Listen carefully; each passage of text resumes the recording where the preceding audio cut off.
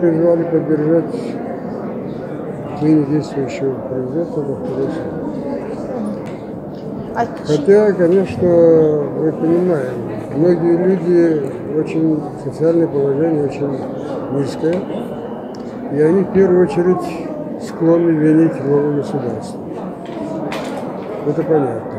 И поэтому мы не ожидали, что в первом туре у него будет преобладающее число голосов. Мы даже опасались, что он может не выйти на второй тур. Но, слава богу, этого произошло. Поэтому Зеленского мы не знаем политики, мы знаем его как комика, но сейчас, когда состоит страна в таком состоянии, быть главнокомандующим вооруженными силами Украины комиком, это представляется крайне опасным для государства. Хотя, конечно, я отношусь с уважением